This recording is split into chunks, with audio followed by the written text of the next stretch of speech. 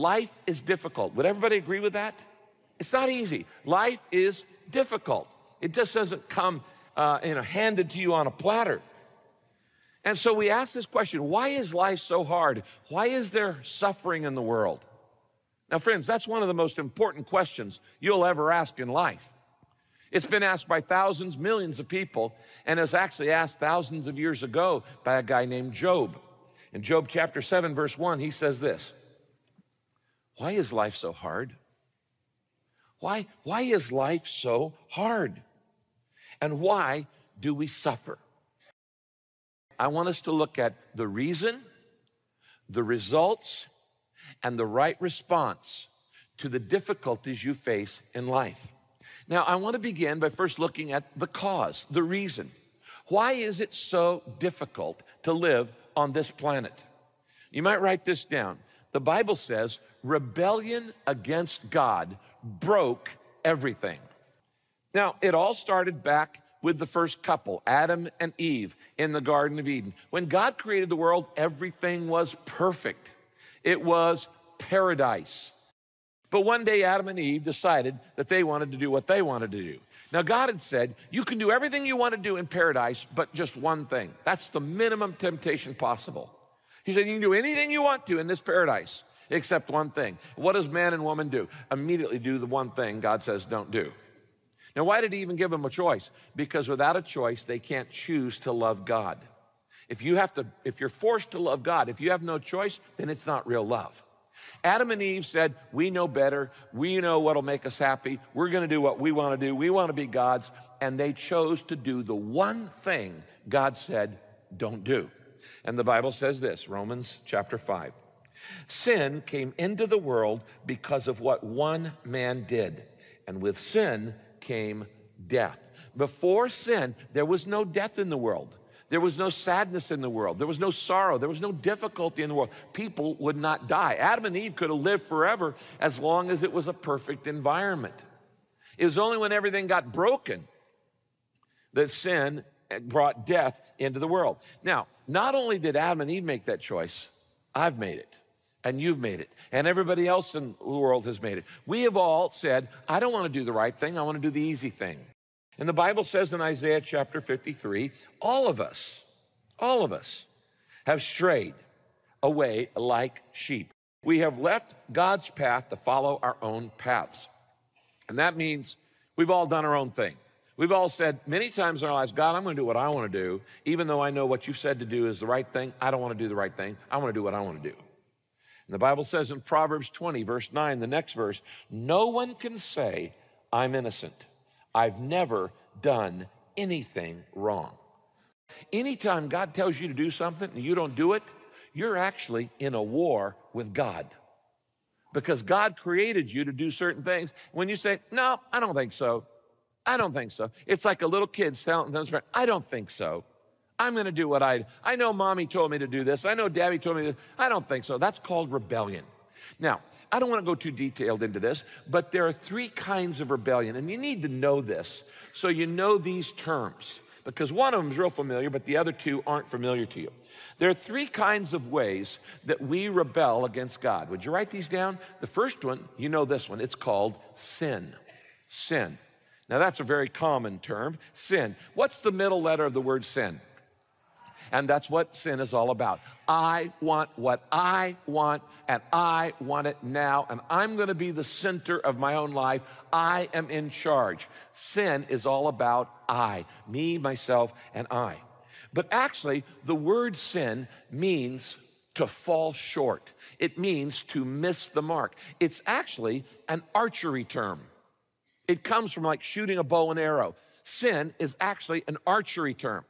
If you were to set up a, a bullseye uh, here on this stage, and you had a bow and arrow, and you were to aim for the bullseye, and you shoot the arrow, and if that arrow didn't have enough energy and it fell short, in archery, that's called a sin. It means you missed the mark. It means you fell short. It means you didn't reach the goal. And sin means I don't measure up to God's perfect goal for me. I miss the mark. I fall short. I don't quite make it. I'm not perfect. I'm inadequate to make perfection in my life. I fall short. Yesterday afternoon, I was watching one of my favorite shows on TV, the old Robin Hood reruns. And I've watched them a dozen times. And there's one episode where the uh, sheriff of Nottingham decides he's going to smoke out Robin Hood to capture him by planning a archery competition because he knows Robin Hood's the best archer in the land and he cannot not show up at a competition. So he plans this competition. Robin Hood shows up dressed in disguise. Of course, everybody knows who Robin Hood is except the king who's kind of blind. And um, Robin Hood gets up and he starts shooting and he pulls his bow and arrow and he shoots and it hits the target, bullseye, dead on. Then he pulls out another arrow and he shoots it again, and that arrow splits the arrow in the bullseye. Nice story. But you've never done that with your life. And neither have I. We all fall short and we don't make it to the standard of perfection. Now, that's called sin. Now, there's a second word that you're probably not familiar with, but it's just as important, and it's called transgression. Would you write that word down? Transgression. Now, a transgression is the exact opposite of a sin. It doesn't mean you fall short, it means you go too far. It means you go past the boundary. You break the law. It is an intentional, deliberate disobedience. Sin can be, I just didn't measure up. I wasn't good enough. I wasn't perfect. But, but transgression means I intentionally break the law. I go past the boundary. If I'm driving down the freeway and the speed limit says 55 miles an hour and I'm going 85, that is not a sin, that's a transgression. Because I'm breaking the law intentionally. You see what I'm saying? It's not like I'm not measuring up. Not that I fall short. It's that I'm breaking the law. I go, I know it's the law, but I'm still going to go 85 anyway. That's called a transgression. And you go deliberate disobedience, willful defiance, breaking God's laws. Now, there's a third word, and I want you to get this one, and it's called iniquity. Iniquity. Now, this one's not used at all in English today, but iniquity means intention to hurt intention to hurt somebody, intention to damage, intention to do evil. Uh, maybe because you're mad or you're jealous or you're envious or you're bitter or you're prideful or somebody's offended you, you want to hurt them back. That's not a sin. That's not a transgression. That's an iniquity. It is an intentional desire to hurt somebody else. When Hitler and the Nazis killed six million Jewish people in the death camps. That was not a sin. That was not a transgression. That was an iniquity. They intended intentionally to hurt those people. They wanted to kill them. They wanted to eradicate that entire race. And that was evil. That was iniquity. It wasn't measuring, not just measuring up. It was it was intentionally meant to hurt, caused by anger, resentment, envy, hatred, bitterness, whatever. Let me explain these three in football terms. We're back almost back into football season again. A lot of the teams, NFL teams, won't go to camp this week. If I'm in football and I want to know the difference between a sin, a transgression, and an iniquity, a sin would be kicking a field goal and it misses. It falls short, or it hits the goalpost and it goes over to the side. That is a sin, would be I have missed the mark. I fell short, kicking a goal, and I don't make the field goal. That's, I've missed the mark. A transgression would be offsides. If I jump off sides before the snap is taken in football, I intentionally was going after to get you, and I'm out of bounds, I'm offside. If I go out of bounds with the ball and I step out of bounds, that's not a sin, that's a transgression. Does that make sense? I've gone out of bounds. I've broken. The law says you stay within these boundaries if you're playing football, but I'm going to go out of bounds, and that's called a transgression. Now, if I come up and I headbutt you and I kick you in the face and I break your thing, that's a personal foul. That's an iniquity. I want to intentionally hurt you. I want to take you out of the game. Jesus once told three stories in Luke chapter 15 the parable, the story of the lost sheep, the story of the lost coin and the story of the lost son or the prodigal son. Each of those stories explains one of the three kinds of rebellion sin, transgression, iniquity. Now, David in Psalm 32 talks about all three of them. In fact, here's what he says. Look here on the screen, and it's on your outline. I acknowledge my sin, circle that, to you. I did not cover up my iniquity, circle that and I confessed my transgressions, circle that, and you forgave my guilt. He says, You know, it really didn't matter which one it was, whether I didn't measure up or I missed the mark or I went out of bounds or I intentionally meant to hurt somebody. You're still going to forgive me if I confess it to you. So, why is life so hard? And why do we suffer? Why is everything a battle? Well, the answer is rebellion against God broke everything. That's the reason. Now, what's the result? What's the damage? Well, the damage, friends, is significant because it's in every single area of your life. You might write this down. Nothing works perfectly. Because I have made poor choices, you have made poor choices, the entire human race has made poor choices, everything's broken, and nothing on this planet works perfectly. Sin has damaged everything. Sin has ruined everything. Sin has destroyed everything. Sin has corrupted and spoiled everything. Sin has injured everything. Every relationship, every idea, every dream, every human body, everything has been touched by this damage.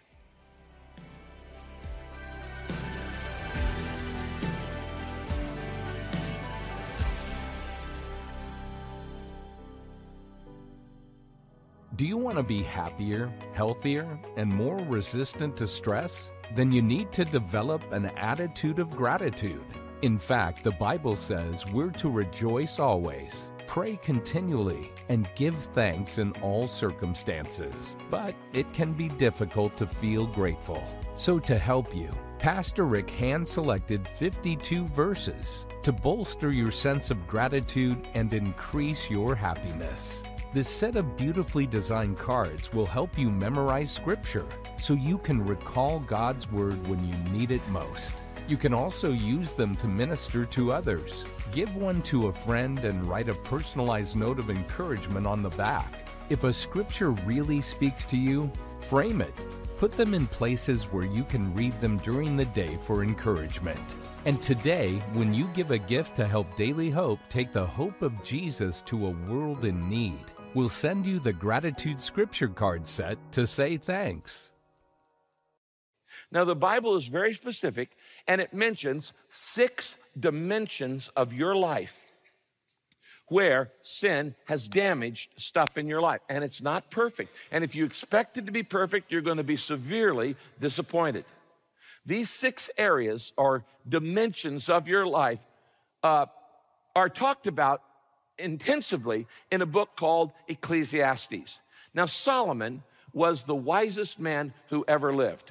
He was the wealthiest man who ever lived. And at one point, he was the king of Israel. And Solomon wrote book, three books of wisdom Proverbs, Ecclesiastes, and Songs of Solomon.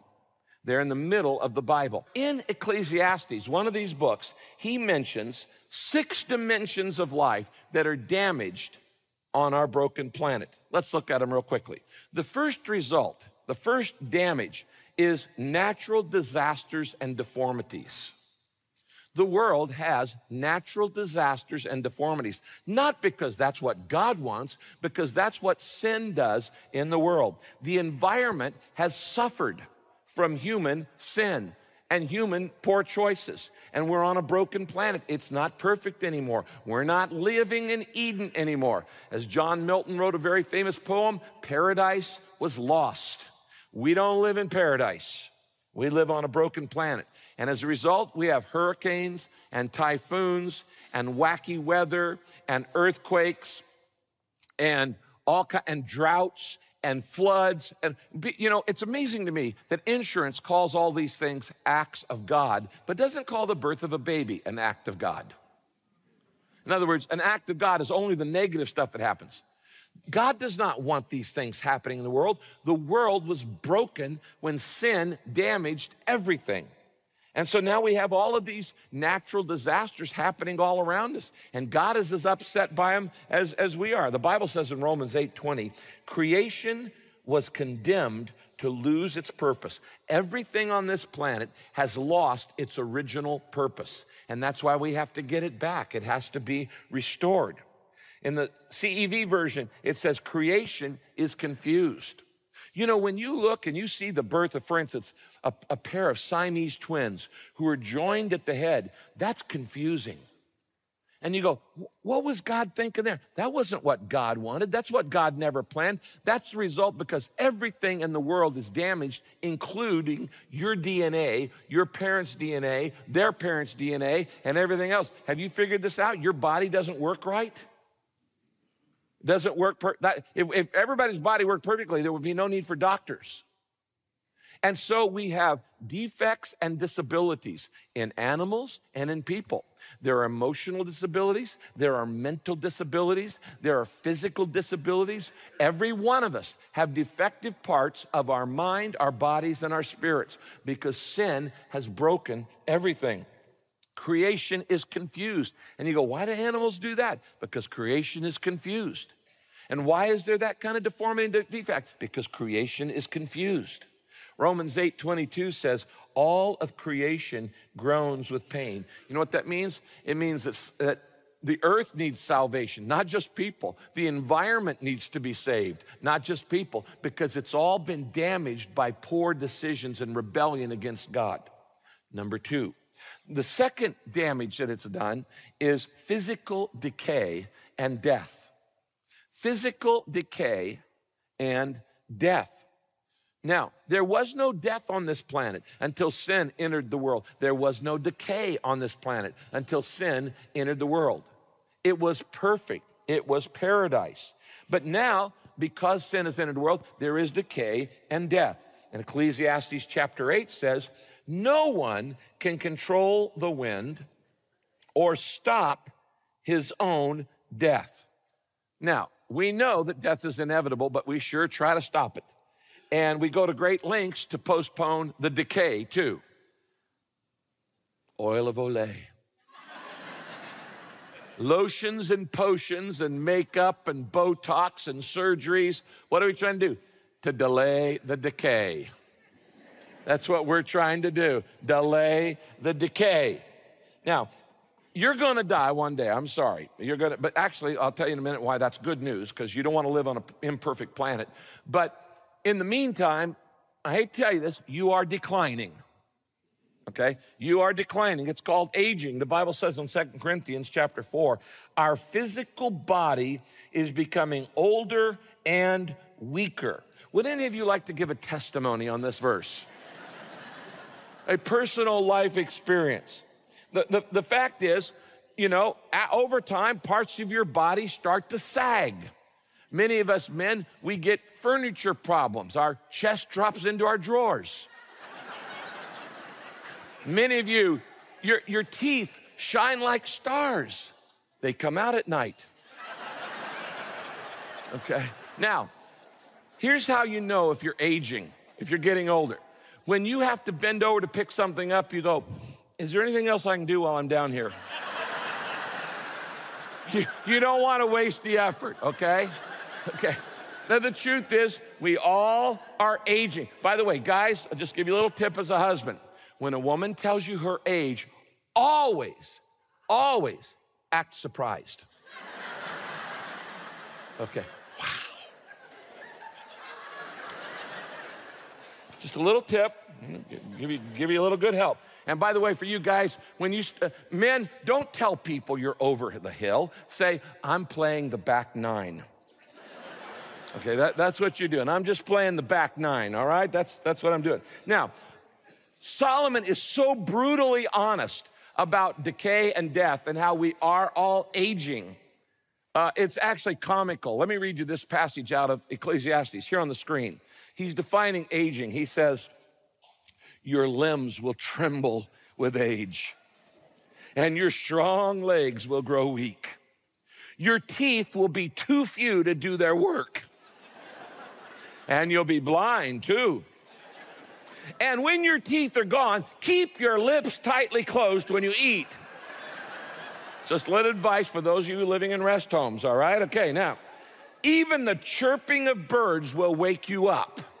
It just, it all irritates you. You're so sensitive and you know, you can't get to sleep. But you yourself will be deaf and tuneless with a quavering voice.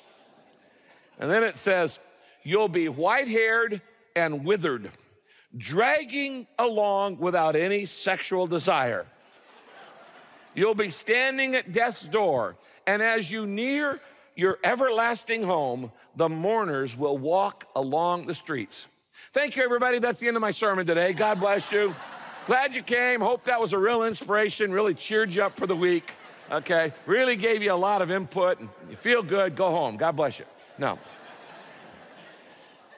Now, why is all that happening? Because sin broke everything, including your DNA. You know, I read this week in the newspaper, uh, it was a big article, and it said, Scientists have now concluded that the universe had a beginning and will have an end. Duh. Actually, did you know that for about 150 years, we didn't believe that? You know, science is often wrong. And, and for 150 years, scientists actually thought the universe was eternal, that it had always existed, and that the universe will always exist in the future. We now know from Einstein's theories and uh, you know E equals mc squared and all these other things that the universe had a beginning and will definitely have an end. Well, anybody who reads the Bible knows that. I mean, they call it the Big Bang, but wherever you got a Big Bang, you've got a Big Banger. Okay? Nobody, no scientist believes in spontaneous generation. That stuff just happens out of nothing. That we're just sitting here and in a million years, all of a sudden, a watch is going to show up. I mean, Pasteur uh, exploded that myth in 1865 and proved that spontaneous generation does not happen, that things just don't happen out of nothing. There's a cause behind that. Now, in physics, this is called uh, the law of entropy. Let me show you a, a, a, a phrase here, or an equation here on the screen. Everybody's heard of E equals mc squared. You know what this is? Delta S equals Q slash T. You know, Q being heat, heat absorbed, and T being the, the temperature of the surrounding. This is the second law of thermodynamics. It is not a theory, it is a law. And the second law of uh, thermodynamics is the law of entropy that explains that everything in the universe is irreversibly decaying, decaying into disorder. That Energy seeks its simplest state. It always does. It doesn't get more complex.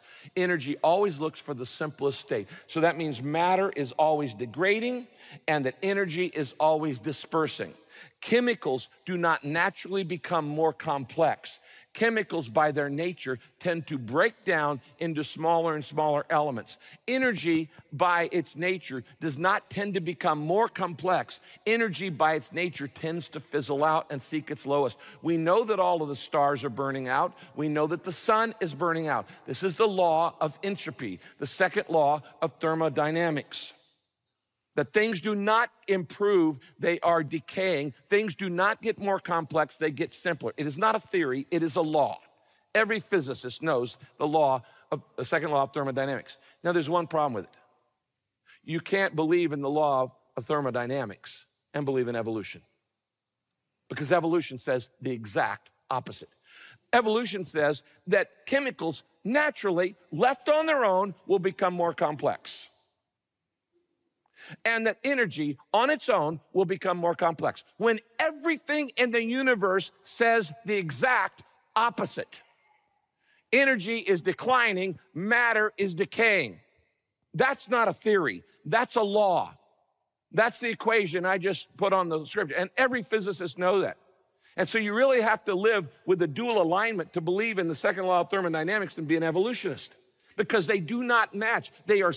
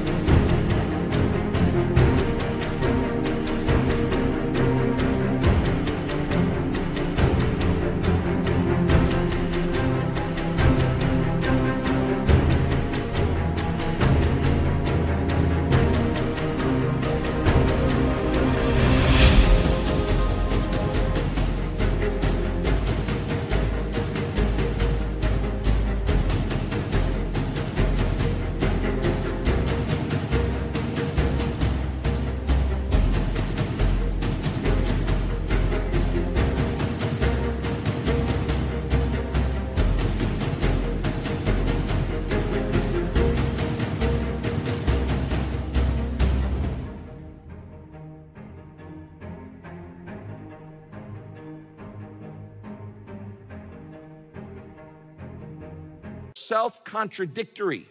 1 Corinthians 15 22 says this Everyone dies because all of us are related to Adam, the first man. Now, that's the bad news, but actually, there's some good news in this. I'm glad I'm not going to live forever on this planet. Because to live on this planet, to have to live on this planet forever with rape and molestation and, and corruption and sin and sorrow and sadness and grief and power plays and people misusing each other and abusing each other, that to me would be hell. And God doesn't want you to live forever on this planet. He wants you to live forever, but He wants you to live forever in a perfect place, not on a planet that has been broken by sin.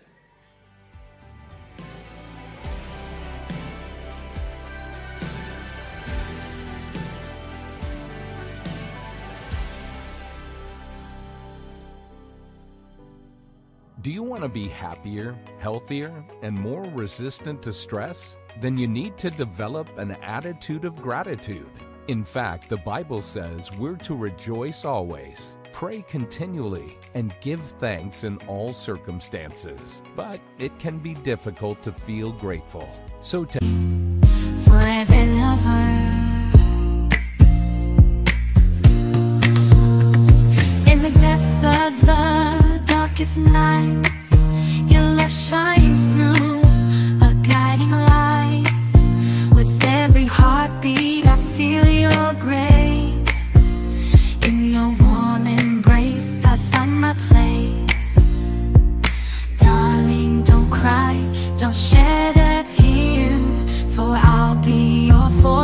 I'll always be near. Though storms may rage and oceans may roar, I'll stand by your side forevermore.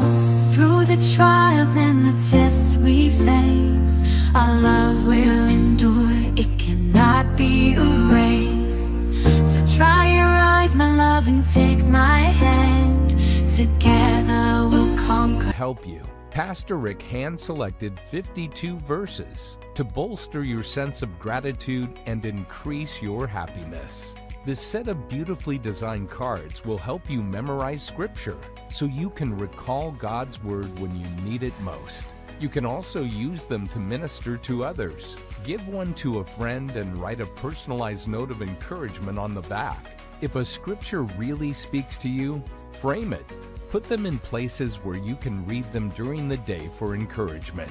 And today, when you give a gift to help Daily Hope take the hope of Jesus to a world in need, we'll send you the Gratitude Scripture Card set to say thanks.